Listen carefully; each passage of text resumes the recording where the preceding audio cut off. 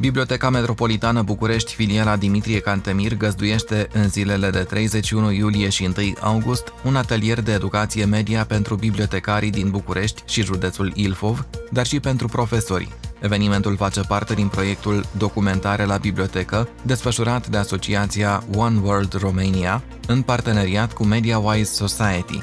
Acesta se derulează în două etape. În prima etapă, în perioada iulie-septembrie, vor avea loc atelierele de educație prin film documentar destinate bibliotecarilor, iar în cea de-a doua etapă, în perioada septembrie-noiembrie, participanții vor aplica cunoștințele dobândite pentru a organiza proiecții de film și dezbateri pentru publicul bibliotecilor în care activează.